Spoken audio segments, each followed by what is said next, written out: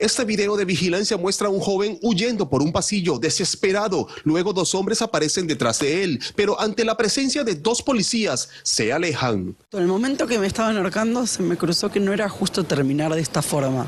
Terminar así, terminar muerto por alguien, en las manos de alguien que odia. Según Pablo, contactó a uno de ellos a través de una popular aplicación de citas gay. El hombre llegó con un acompañante y los dejó entrar a su casa. Ya de madrugada y ante su rechazo a tomar licor, ocurrió lo inesperado. En un momento yo me distraje, me distrajo él y cuando me doy vuelta el otro se había puesto unos guantes negros y me empezó a ahorcar.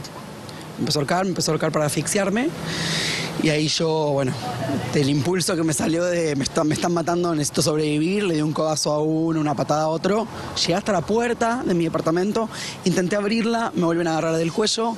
Cuando la policía entró y detuvo a los hombres, encontraron en los depósitos de basura envases de un potente somnífero con el que presuntamente querían drogarlo. Bueno, yo escuché los gritos desesperados del chico que decía que lo querían matar pero nunca pensé que fuera acá mismo. Eh, es horrible la maldad que vivimos y, nunca pensé que fuera tan cerca del edificio.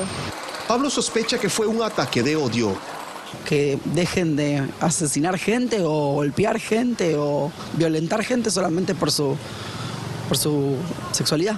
A raíz de esta denuncia, varios hombres que prefirieron mantenerse en el anonimato dijeron que fueron víctimas del mismo modus operandi, pero no tenían videos ni pruebas. Además, los sospechosos eliminaban sus perfiles sin dejar rastro tras sus fechorías. La policía catalogó el hecho como tentativa de robo.